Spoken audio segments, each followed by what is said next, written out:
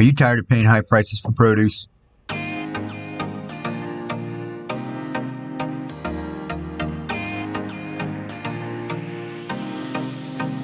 As somebody asked me about this, my NFT, kind of an NFT, not a true one. Nutrient film technique just means there's a thin film flowing in, in the bottom. I've got four inch pipe and it's about half full up. So it's not really a nutrient film, but that's what I call it, NFT system. Basically, if you want to grow a bunch of greens like this right outside your back door, I mean, wouldn't you love that instead of having a kale, you know, rotting in your refrigerator and ending up in a compost pile, just have it out here, come out here, pick what you need whenever you want it, and leave the rest growing. It's awesome. But let's take a look at the system really quick. It starts with a little tote I got from Home Depot uh, what's that about $15 there's a pump in there I got from Amazon for $25 and a little piece of tubing. And the actual system up here is made out of 4 inch pipe PVC pipe. And all I did was cap off one end run it down to the other end. Let's go down here.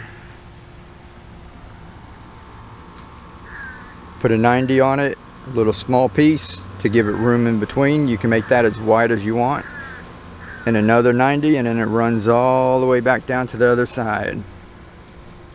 And then we have another 90 going down and it goes into the reservoir.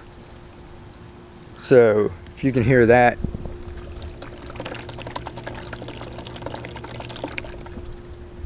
If you can hear that that's the uh, water's kind of bubbling as it lands down in there now this thing just keeps recirculating like it that. I keep this one running 24 hours a day.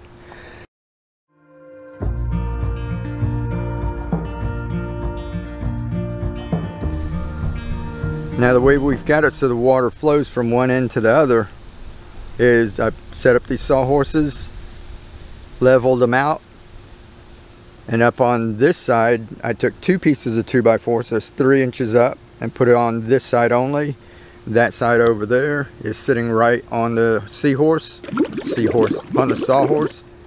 So that one is three inches lower than this side. And then all the way down on this end I just put one piece of 2x4 all the way across the whole thing. And then on this side I just stick a little bit of uh, pool noodle of course right? Just to hold the side up just a little higher so that's how we got it so that it goes all the way back down to the other end. And nice and easy, I just took that irrigation thing, just stuck it in one of the holes here. Of course, we're holding it in place with a pool noodle. So nice and easy. And look at that. Loads and loads of kale.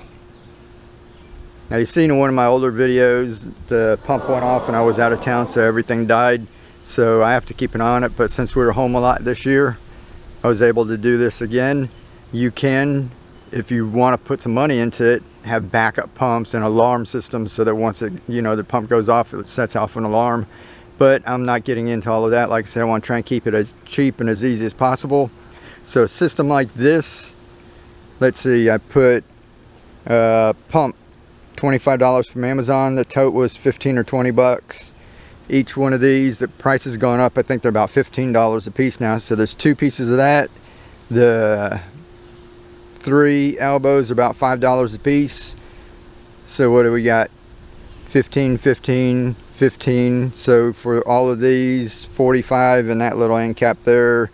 50 the pump the tote. So you're talking about less than a hundred bucks right around a hundred bucks once you get couple of plants and throw you some nutrients in there. So for about a hundred bucks, you have your system set up like this. And right now that's not quite 10 feet because I cut a piece off one of them to come back down into there and I took the other piece and I used it for this little section in between here.